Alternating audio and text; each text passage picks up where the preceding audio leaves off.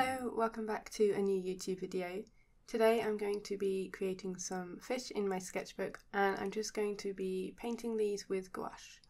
So whilst I share the process with you, I thought that I would talk about a topic that I see talked about quite a lot in the art world and I think we all struggle with it sometimes, especially with comparison and trying to make what we create good and perfect. I think some of the perfectionism in art can come from wanting to make the most of our art materials. There's definitely some that are more expensive than others. And especially when I started with gouache, for example, I was really aware of the cost of these tiny tubes of paint.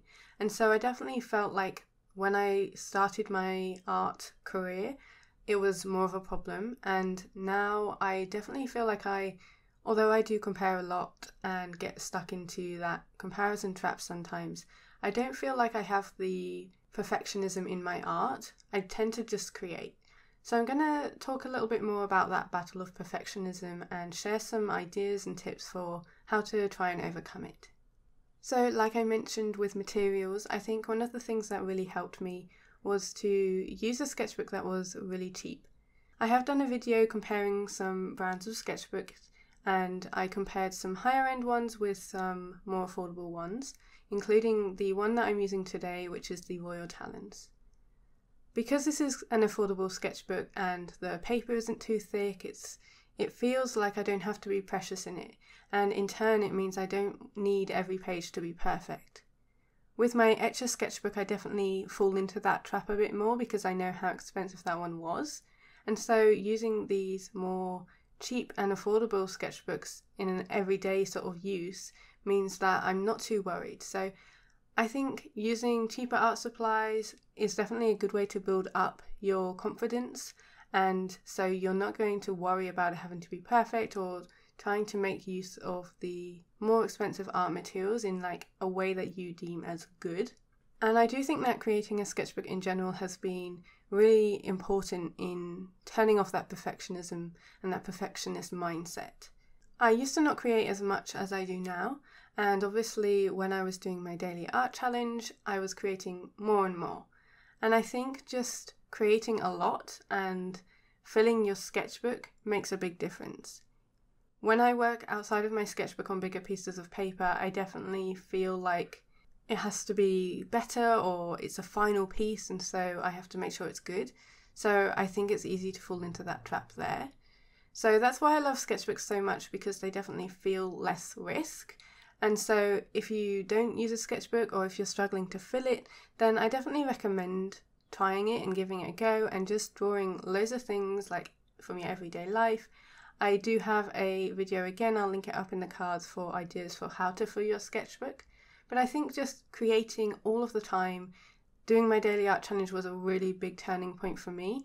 And I've done two of those now. And just creating every day and forcing myself to do it sometimes because, you know, we don't always feel inspired definitely helped because you don't have the choice to like not do it because you want it to be perfect. If you can really commit to a daily art challenge, even if it is 10 minutes a day, it helps you to just get something on the paper, and slowly I think that perfectionism will fade away. And I also think that it's important to just accept that you will make bad art. And actually, the bad art is really, really important in our practice as artists. The bad art leads to good things. So even if you do something that you really dislike, there's going to be something in there that was good. Maybe you liked a specific color combination, or maybe you learnt that this material doesn't go with this material. But even if it's bad, there'll be something that, even subconsciously, you'll have taken from it because you created. And so those m- mistakes would then lead into a piece later down the line. And you might not even realize, but because you created that piece however many months ago, it will actually feed into your work later on.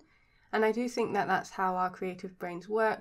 So even if you do create something bad and you feel like that it's no use and what's the point because it's not perfect, changing your mindset on that and thinking about it as being like a journey and everything leading into one another can really help with that. And our mistakes are really just learning. So even if they're like you've created a page that you absolutely hate. I really do think that it all stems into our creative practice. So it's kind of like just embracing that. And the more art you create and the more you do, the better artist that you're going to become, and you're going to really silence that thought in your head about perfectionism. And in turn, I think just embracing the creativity and the play and the experiments is really important as well. I think, again, that's why I love to work in a sketchbook because it feels like a really safe place for me. And for me, it's at this size. Perhaps you prefer to work bigger, maybe you prefer to play on canvases, but whatever it is, I definitely think that you should lean into that. I think art is all about play, and that's where a lot of my excitement for creativity comes from and whether that's playing with mark making or trying different supplies or how you can mix this with that material or maybe it's trying out new subjects and things like that. Whatever excites you, go with that and explore that and really play with it because art should be fun. I really don't think it should be super serious. I think that the more you have fun, the more it shows in your work. And I think if you have fun and you're really enjoying it, then that little part in your brain that thinks it should be good gets silenced even more, and so it's not as much of an issue. And obviously, the more that you create and the more that you're having fun, the more you feel like this is why I'm creating. It's not to create good art, it's just to have a good time. And it's about the process and the enjoyment there. And I find art is really mindful for me, so it's more about the act of creating rather than the finished result. So, the other thing that I find really helped me with turning off that perfectionism mindset was to use timers because, again, I'm not thinking about the end result because I know I only have, say, 10 minutes to create something. And so I just want to enjoy it and just, it really helps to turn off my brain in thinking this has to be good because all I'm thinking is, oh, I want to get this done in 10 minutes and this is going to be a really fun challenge. So again, it's bringing in the play from that element of just having fun. I prefer quick timers, but perhaps you find that difficult. But I've been doing it for so long now, I find it's still a really fun challenge for me, and it's one that I always recommend because it really does help you switch off your brain and to just have fun with what you're creating. So I definitely recommend giving it a go, and you will get quicker as you go along as well. And then lastly, I think pushing out of your comfort zone and it can be really hard. It's not an easy thing to do, but I think that perfectionism is impossible when you come to it or come to something as a beginner. So if you're pushing out of your comfort zone and trying something new for the first time, you can't be perfect at it. You're going to be bad. You're going to start from knowing nothing. And so you have to accept that that's in your mindset that you're a beginner. So it's okay to be bad. And I use that in quotes because I don't really believe that's a thing. But I think changing your mindset to just have fun and enjoy it and pushing out your comfort zone to try new things is a big part of that. So I really hope you enjoyed watching this video and seeing these fish come to life. I hope that the chat was helpful and I'd love to hear your thoughts down below in the comments. I'll see you next Sunday for my new video. See you later.